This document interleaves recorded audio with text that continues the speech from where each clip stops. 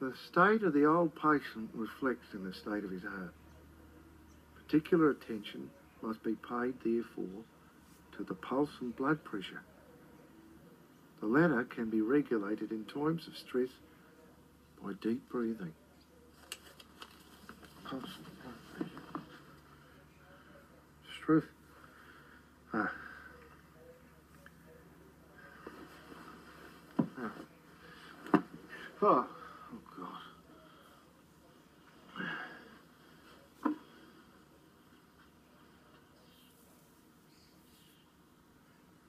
Anemic.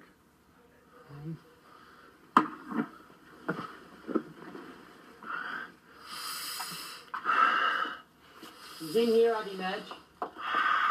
Would you like some breakfast, Max? No, I'm not very hungry, Tar. You're not going on a diet, Dad. It's all that junk food you ate last night. What time did you get in? Well, look, I don't remember. I'm too dizzy. You cook again. What's no, up? nothing wrong with me. He looks pale. I think you should have the day off work. I can't afford it. Look, don't worry, Dad. I can take over. I'm not dead yet. Oh, Are you feeling dizzy again? Here, put your head down between your knees. oh leave me alone. It's basic plumbing, Max. If the pipes are blocked, sometimes gravity helps. What? Ah, I was only trying to get the blood to your head. Look, stop acting as if I got one foot in the grave or I will blow a gasket. Dad, you'd be doing me a favour. I can do the job right now. No, look, I'll do it one anyway. off won't hurt, Dad. What have you got to lose? Yes, and you could lie down all day and I could bring you digital tea every Did you three what? Mm. Yeah, all right.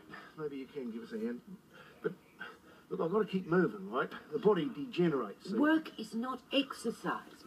Well, if Dad doesn't work, he'll worry. And it says Oh, here... yes, I suppose Danny's right. We don't want to give you any extra stress. I tell you what, I'll pack you a special lunch. And I think we should call Clive again. Yes. What, that man mongrel? You're trying to kill me? Dad? Dad.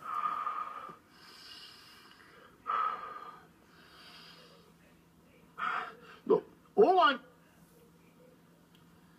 All I need is peace and quiet. All right? And I got that. Me family, haven't I? No worries, Dad. You can count on us.